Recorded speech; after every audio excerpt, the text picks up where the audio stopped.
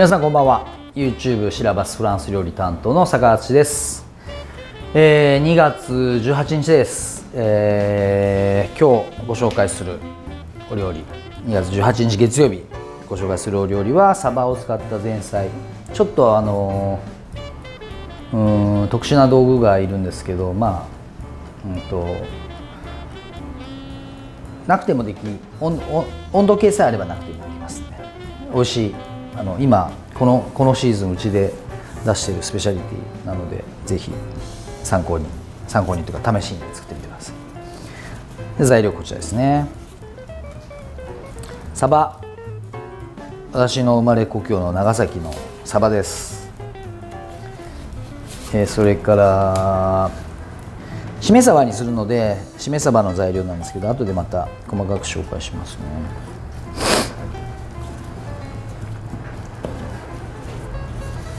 サバに塩をまぶすんですけどあの本当しめ本当しめ鯖のまんまです作り方。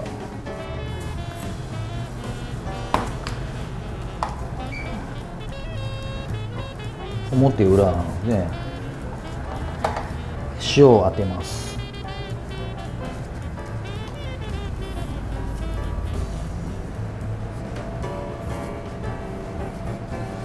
たっぷりと。これで臭みを取るんですね。これで15分このまま放置します。はい。塩をしている間にえー、しめ鯖のあのアパレイユというか合わせ液を作っておきますね。これリンゴジュースです。リンゴリンゴジュース。果汁。100%のリンゴジュース。白ワインビネガー。お塩。きび糖グラニュー糖でもいいです。で混ぜて塩とお砂糖を溶かしておきましょう。しっかりというか15分経ちましたので一回水洗いしますね。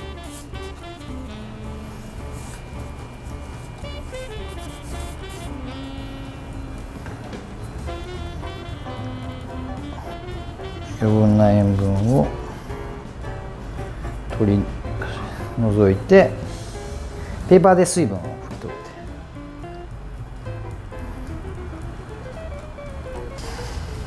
て。ではここでサロン・エナシュベイが誇るスーパースターのジルシェフの登場です。この間なんかラクロワ勢に、はい、あの YouTube 見てますってお客さんがたまに見えるけど。知ってる、はい、僕もいつの間にか YouTuber になってるから。はい。じゃ名刺に書き出さなはい。でこれはあのさっきのりんごのマリナードで香辛料と一緒にえっとしめ鯖を作っていきますね。りんごと白ワインビネガーのマリナードで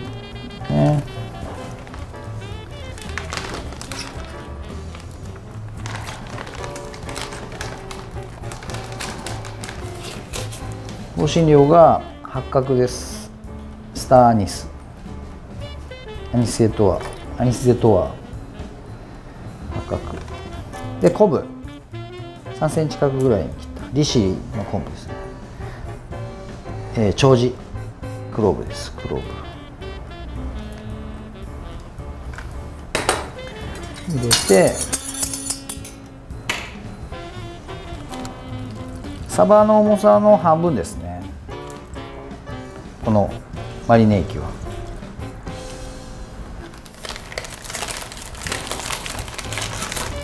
真空パックして30分ほど、えー、しめ鯖にします。で、えー、30分このりんごと白ワインビネガーのマリネ液の中でしめ鯖を作ります。しめ鯖を作ってこのまま、あのー、お刺身として食べれるんですけど低温で火を入れて仕上げていきます。これをですね一回あのまたパックを開けてあのー、水分を一度ペーパーで拭いて、えー、オリーブオイルでもう一回パックし直すんです。30%これも真空がないじゃないかって話なんですけど例えばジップロックでできるだけ空気を抜いてもらう。あともう、まあ、マリナードを同じ分量にして、えー、そのまま、えーと、つける。普通に。しめ鯖のようにね。パッドとかタッパーでね。でそれをいいですか？桜井さん。オリーブオイルでパックしてし直したものがこれですね。し直したものがこれ。で40度のアアノーバっていうあのこれお湯です。水です。で40度の、え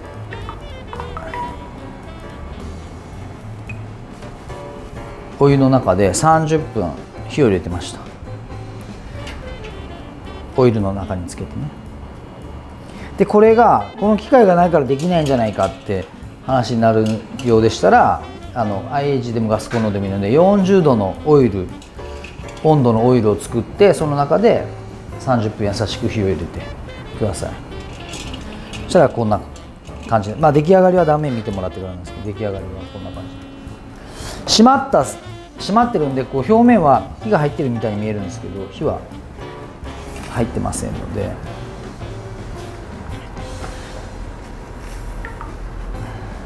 すね、えー、30分加熱したのでしっかり氷水の中で冷やしておきましたね。まあ加熱した時間と同じぐらいは冷やしてほしいですで油を切ります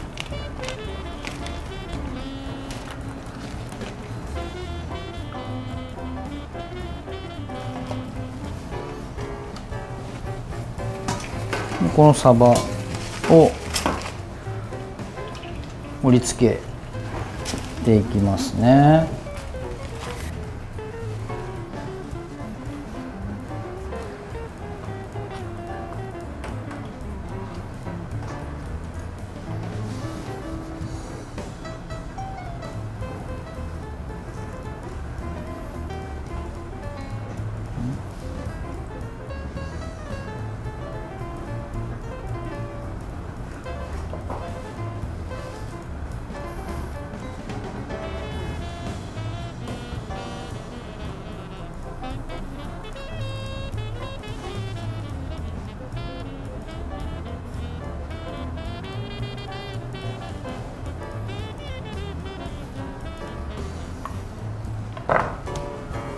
でこのままあのドレッシングかけて美味しく召し上がれると思うんですがフランス料理なのでいろいろこ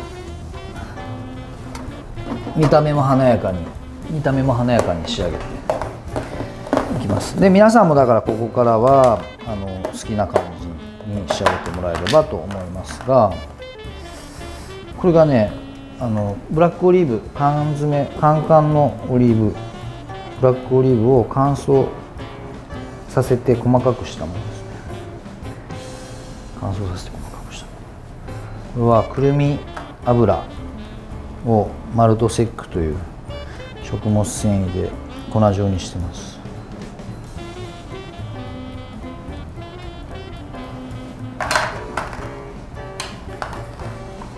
くるみの香りがする粉ですね。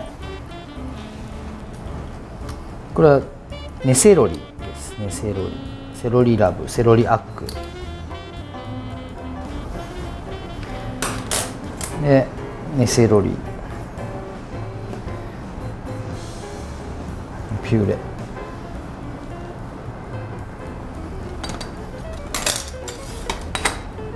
でハーブ。ナスタチウム。オリーブオイルのカプセルですね。キャビアロール。でフランボワーズセック。乾燥したフランボワーズを。これはあの豊橋の大葉のスプラウトです。豊橋の大葉のスプラウト。愛知県豊橋市ですね。浜松のお隣です。浜松は静岡県です。仕上げに、えーと、フリーズドライのフランバーズ。香りのアクセントです。サバのりんごマリンの完成です。素敵なコメントでは試食をジル君にやってもらいます、はい、試食担当のジルです。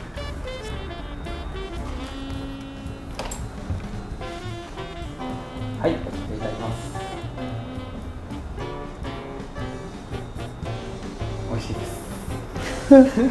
いや一番最初にりんごジュースであのー、あのしめ鯖に作ってて一番最初食べた瞬間こうりんごジュースのフレッシュな香りがくるんですけど噛み噛んでいけば噛んでいくほどこのサバのあの油というかうまみが出てきてこうもうよくよく噛んでいって言ったらあれですけど最後までしっかり食べていただけるとあのサバの本来の味も一緒に楽しめます最初の一口の華やかさとあのサバの味も楽しめるんでもう一口で。